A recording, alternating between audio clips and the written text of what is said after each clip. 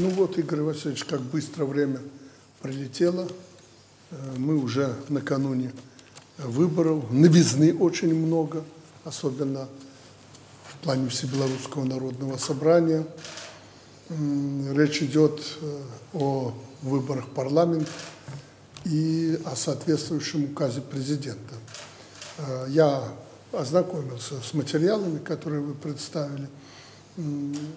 Нет отторжения ни по одному из вопросов, тем более об издании указа.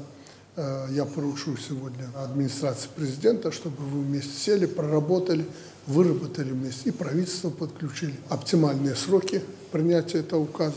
Но я думаю, ваше предложение в этом плане разумно, и не вы же одни его придумали, а выстрадали, наверное, прежде чем вносить предложение. Поэтому вопрос издания указа о выборах – это вопрос, считайте, решенный.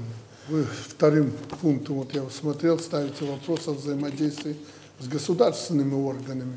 Вы очень правильно предлагаете, ничего не надо отбрасывать. У нас есть большой опыт и практика э, проведения выборов в плане э, задействования органов власти, э, других государственных органов. Все в вашем распоряжении. Вы отвечаете за организацию, а все государственные органы и структуры, и я в том числе, мы будем э, вам помогать осуществить тот план, который э, мы согласовали все вместе. Э, единый день голосования, тоже новизна. Мы избираем все советы по вертикали, поэтому работы будет достаточно. Не спеша, спокойно мы проведем эту работу. Что касается информационного обеспечения, тоже опыт очень большой. Но и нового очень много. Надо использовать и интернет, и создание новых контентов, как вы предлагаете. Это тоже надо делать, чтобы людям было удобно. Э, начиная от приглашений, рассылки смс-сообщений людям и приглашения на выборы. Э, наблюдатели.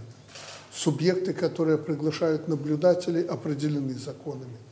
Нам прятать нечего – Э, в нужное время, когда подойдет срок, когда мы сочтем нужным, мы пригласим наблюдателей, чтобы они видели, как будут проходить выборы, чтобы нас не упрекали, что мы проводим выборы как-то в Америке там и стреляют в людей после выборов, и по почте выборы проводят и так далее, и фальсификация, и куча, это уже сегодня видно. Мы должны честно провести эти выборы. Прятаться нам нечего, Э, около 80% однозначно сегодня поддерживают тот курс, который мы определили. Нам чего бояться?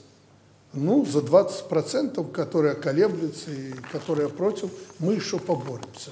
Ну и отдельная новелла формирования Всебелорусского народного собрания. Тоже закладываем определенный фундамент в этом деле, нарабатываем опыт, надо очень внимательно к этому отнестись, очень много в Конституции и в законах определено. Численность, как избирать, от кого избирать и так далее. Споров здесь нет. Тоже надо открыто и честно привести выборы э, в состав Всебелорусского народного собрания. Там будут разные люди, там, я уверен, будут разные точки зрения. Единственное, что врагов там не будет. Но нам не нужны враги и нашему обществу в том числе. А точки зрения должны быть разные для того, чтобы мы правильно принимали решения. Так что, ознакомившись с вашим письменным докладом и предложениями, я, например, не вижу э, каких-то иных подходов. Ну, надо сейчас начинать эту работу.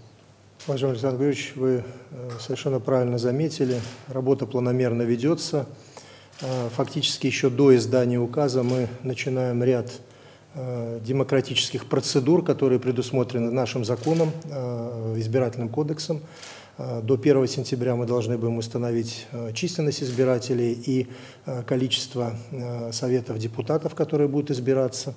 До 1 октября мы должны будем определить границы округов по выборам депутатов Палаты представителей. Всего их будет 110, как и прежде.